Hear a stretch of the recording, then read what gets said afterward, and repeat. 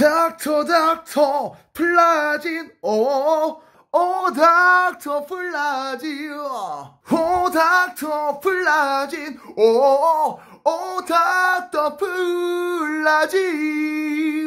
출발현수의 훈남되기. 자, 여러분들 이게 닥터 플라진이라는 제품인데 여러분들.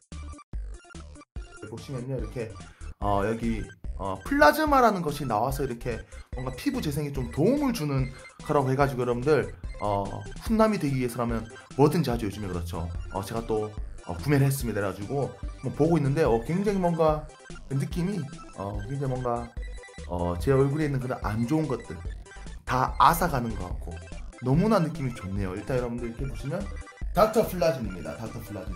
자 여러분들 닥터 플라진이라는 제품입니다. 보시면 이렇게 또.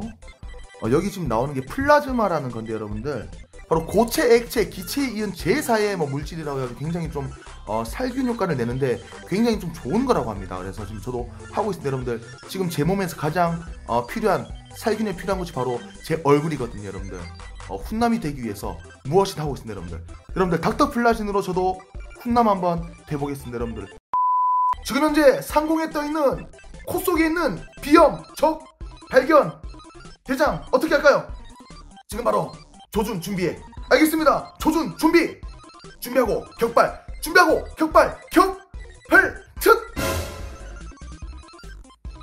아, 꽁트를 해봤습니다. 죄송합니다. 아, 음, 예. 자, 여러분들 이번에는요. 어, 닥터 플라 코코라는 제품입니다.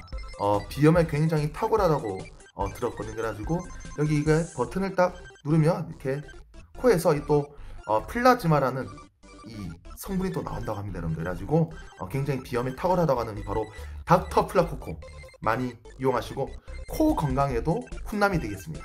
감사합니다.